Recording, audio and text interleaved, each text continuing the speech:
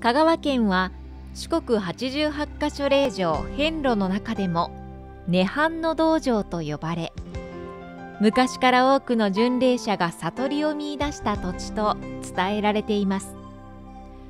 讃岐市にある四国霊場第86番札所宍戸寺。第87番札所長尾寺。第88番札所大久保寺を特に上がり三家寺と呼び弘法大師空海に救いを求めて多くの人が訪れます。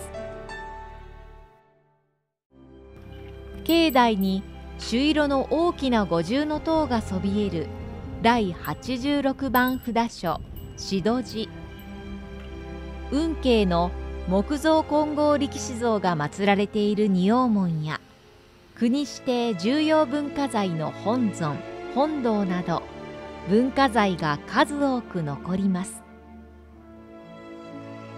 海にほど近く時折磯の香りが漂う境内。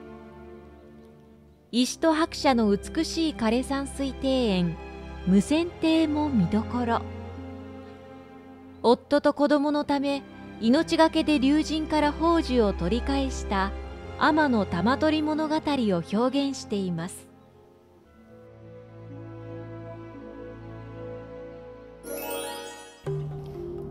第87番札所長尾寺は義経との悲恋で知られる静御前ゆかりの寺です。義経と別れた後母の故郷である香川県に帰りこの寺で出家したと伝えられています。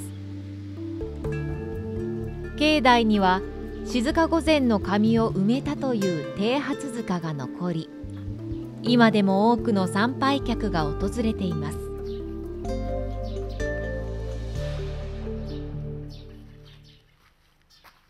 長尾寺から大久保寺に向かう途中の遍路道沿いに霊場巡りの参拝者を接待するサロンがあります。遍路文化を伝える貴重な資料をもとに地元ボランティアガイドが詳しく説明してくれます。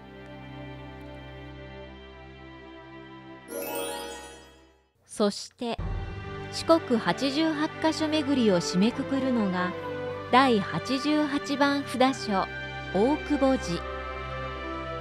境内は厳かな空気に満ちています。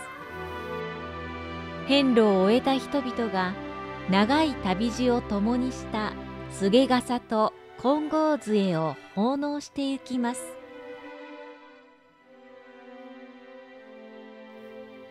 遍路道は同行2人。お大師様と二人連れで歩くのだと言われています。